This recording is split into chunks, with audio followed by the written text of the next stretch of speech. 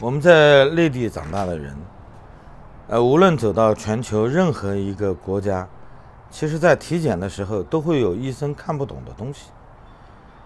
呃，最主要的是两点，第一点呢，就是我们体内的重金属，以及医生认为很罕见的这些堆积在。人体内的化学成分，啊，是世界上目前比重最高的。大多数发达国家都认为，在人体中不可能有这么多毒素的积存。呃，它可以把我们称为生化人，因为如果是在西方国家长大的人，身体内堆积了这么多化学元素，基本上你就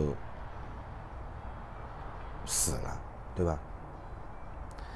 中国人被认为是从小生活在一个生化世界里，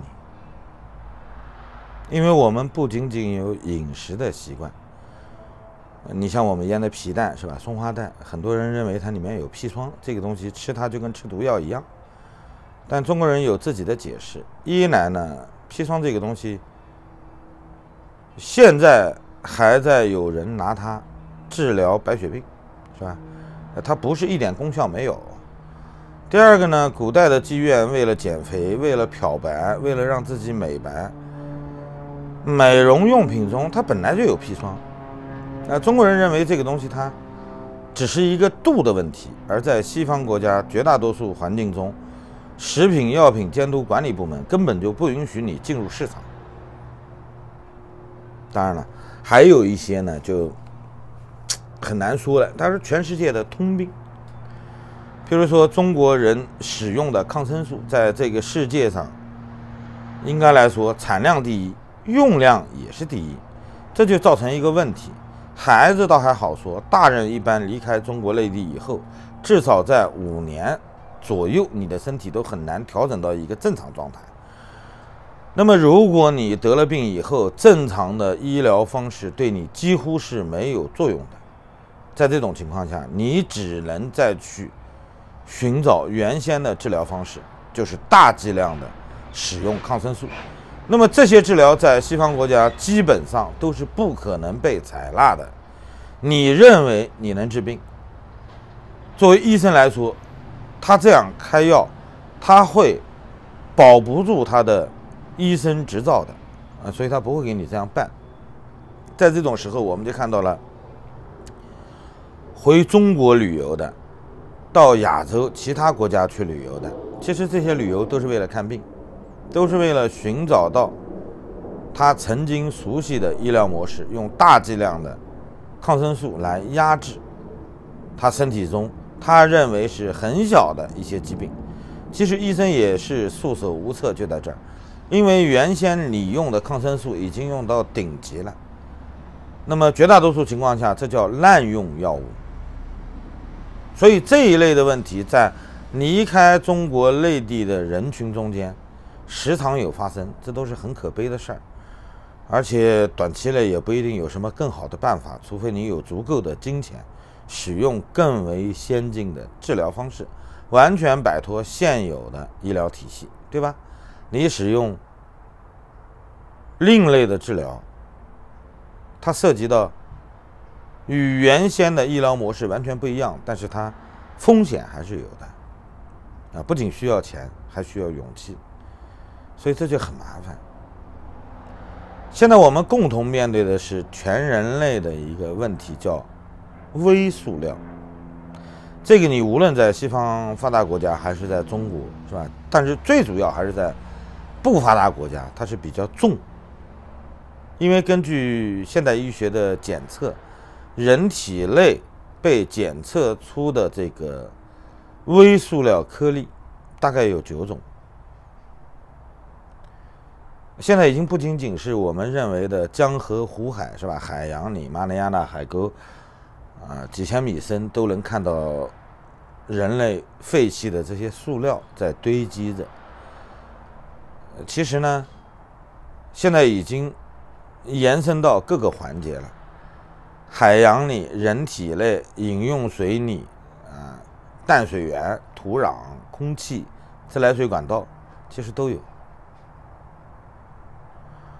我们讲的这些微颗粒，它基本上都是零点五毫米以下的，比头发丝粗不了多少。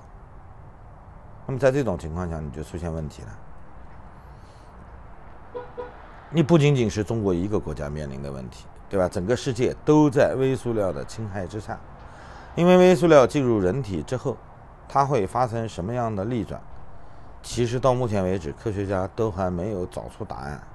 人最惶恐的就是未知。你这个东西它进入人体以后，它是不是会进入血管？会不会走到心脏？会不会切割掉？啊，你你微塑料颗粒堆积多了以后，是吧？打打结了，是不是会切割掉主动脉？啊，这都是人们的猜测。当然，这些猜测都是被夸大了的啊，因为普通人都不太精通医学。医学这个东西，它从希腊文明中就是属于相对比较专业的学科。我们知道，现代外科、现代医学。就我们所讲的西医，它发生的真正的时间其实很短，只有几百年的历史。搞不懂的东西有很多，但是它有一个强项，检测，对吧？它用技术手段来给你，呃，类似于打分一样，明显的给你检测出你的危险在哪。那么现在几排水的这个检测发现，全球五大洲啊，据说是多个城市。那么他们一共查了一百五十个批次，就查饮用水、自来水，百分之八十三都含有微塑料颗粒，这个就很恐怖了，对吧？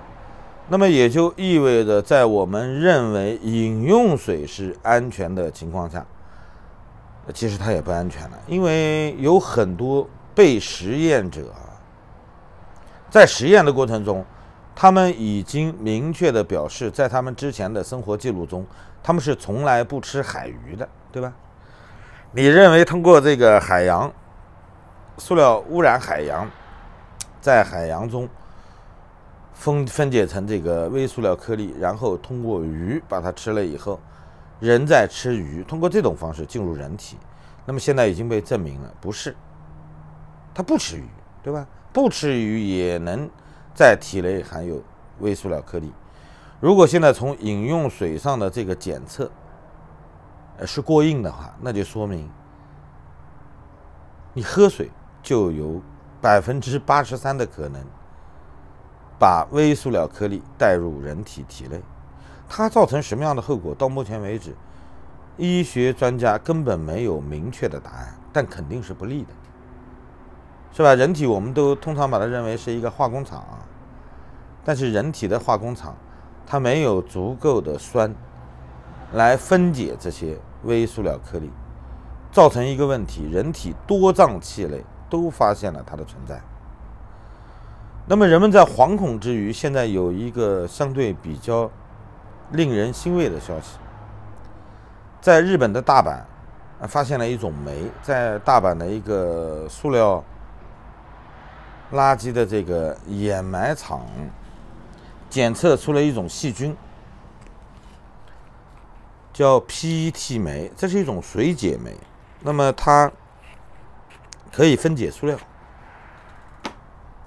然后在水中，它可以把它分解为二氧化碳和水。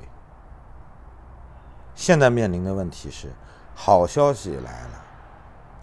一个值得拥有诺贝尔奖的好消息，但是从实验室走到工业化，这个路程其实是最长的。我们知道有许多科学家认为人类最伟大的发明在实验室诞生了，就可以庆贺了。但是真正你要把它工业化，这个路程也会很长。大多数情况下，我们看到一个成熟的技术从实验室被发现。走向工业化都需要三四十年的历史，这个还好一点。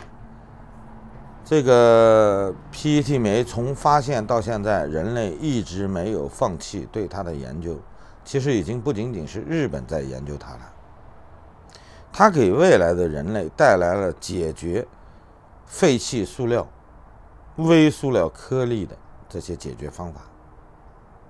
所以现在我们看到越来越多的国家已经放弃了使用塑料一次性一次性的垃圾袋。那么你在超市你使用的包装袋啊，都需要你花钱去买了，对吧？一般都是十美分一个啊。他要求你自己花钱的时候，你就会尽量节省对塑料制品的使用，尤其是一次性，啊，随手你就会把它丢弃的这些东西。很麻烦。那么，如果这种煤它能被大规模的推广，那也是几十年以后的事儿。它能分解掉我们现在认识到的各种废弃物，塑料废弃物终于等来了一个可以期待的杀手。但是从现在开始，全球各大主要国家其实都在使用纸。啊，呃，哪怕是再生纸做的这个牛皮纸袋，对吧？在越来越多的超市中是使用它了。我知道有很多人认为，呃，它不太方便，容易破。但同时，其实其实各大超市也会提供一个手提袋，比较坚固的手提袋。呃，有编织袋型的，也有。啊，相对比较硬的纸质的这种拎袋，甚至我见过真皮的，是吧？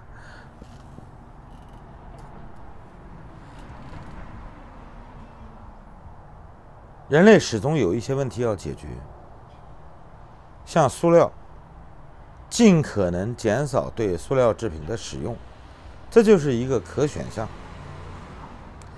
我们经常听到一些人在说要垃圾分类啊，要这个要那个要环保，其实说的多不如实打实的去做一件事儿。日本人最近获得连续获得诺贝尔奖不是没有原因的，他们在基础科学上的探索花了很大的精力。我们已经不得不正视这个国家对整个人类。科技发展带来的创新了，甚至我们经常听到有些人在说，这个世界上能够替代美国成为新科技发源地的国家，其实是有的。我知道有很多美国朋友都在谈论，日本在未来科技界的比重会越来越大。其实它有一些地方值得我们学习，就是他们对事务性的钻研，这种工匠精神。一辈子只干好一件事儿的这种精神，其实真的不得不令人赞赏。好了，谢谢大家，再见。